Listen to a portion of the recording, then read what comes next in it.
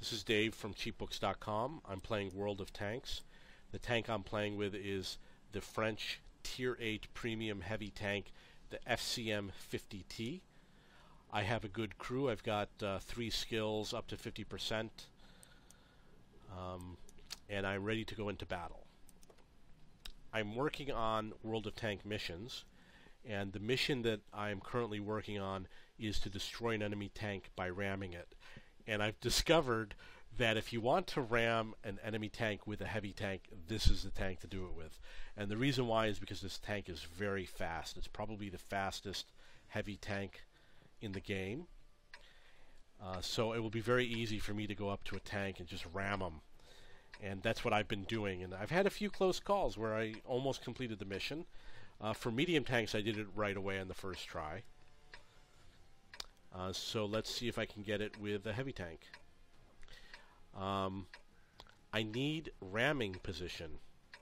All the light tanks are going to be in this open area on the right, so I'm going to go over there.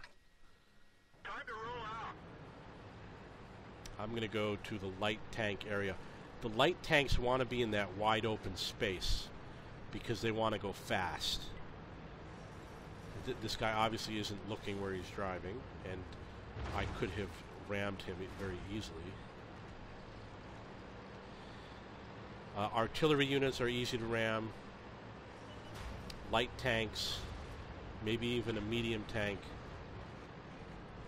So in order to stay under cover, I'm going to go through these buildings over here. That AMX would be easy to ram. I have the throttle set on automatic throttle so I don't have to hold the button down. You can see we've got some tanks over there.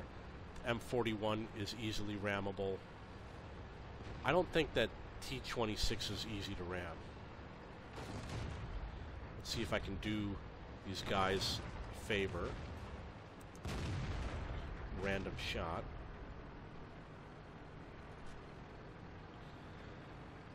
Ready to fire.